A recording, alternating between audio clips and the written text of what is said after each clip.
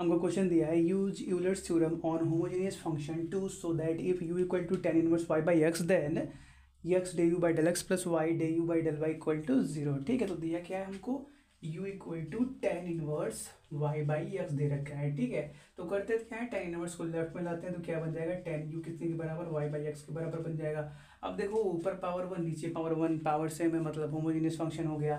ठीक है, अगर ऐसा कुछ रहता कि x square plus y square upon x plus y फिर भी होमोजीनियस होता है, क्योंकि ऊपर पावर टू ऊपर पावर टू ऊपर पावर सेम एक्स का पावर वन वाई का पावर वन नीचे भी पावर सेम लेकिन यहाँ पे सिर्फ़ वाई बाई एक्स है तो कोई दिक्कत नहीं ऊपर पावर वन नीचे पावर वन आराम से वो होमोजीनियस फ़ंक्शन हो गया। तो हम क्या बोलेंगे? लेट मान लेते हैं, कुछ भी है जो क्या टेन यू के बराबर है, और टेन यू कितने के बराबर है? वाई बाई एक्स के बराबर है।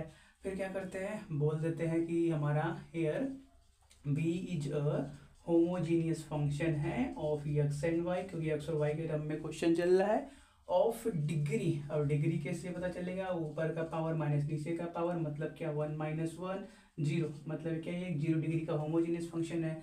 तो हम क्या जानते हैं? According to according to Euler's theorem x del v by del x क्योंकि यहाँ पे भी के टर्म में सॉल्व कर रहे हैं तो del v by del x लिखेंगे plus y del v by del y कितने के बराबर होगा? N times of u sorry n times of v के बराबर। अब भी क्या है हमारे पास? टेन यू है। एन क्या है? ज़ीरो है। मतलब राइट में क्या हो गया? ज़ीरो हो गया। ठीक है, बस करना क्या है हमको? ये दोनों वैल्यू निकालना तो कैसे निकलेगा? यहाँ से निकलेगा। U equal to tan u है। इसको एक बार एक्स के रिस्पेक्ट में डिफ्रेंशिएट करो। एक बार वाई के रिस्पेक्ट में। तो एक्स के रिस्पेक्ट में करो। Del u by del x भी है ना? Del v by del x कितना आएगा? सेक स्क्वायर यू आएगा, फिर क्या यू को डिफ्रेंशिएट करेंगे तो डे यू बाई डेल आएगा।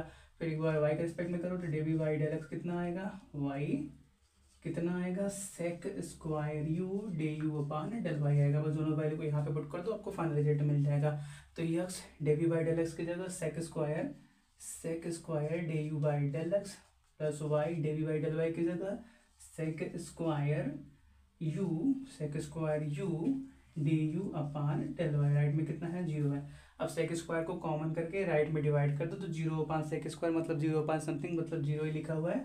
तो फाइनल रिज़ल्ट क्या मिल गया हमको? X del u by del x plus y del u upon del y कितने के बराबर है? ज़ीरो के बराबर। यही बात हमको क्या करना था? प्रूफ करना था। ठीक है, इसको नोट करो।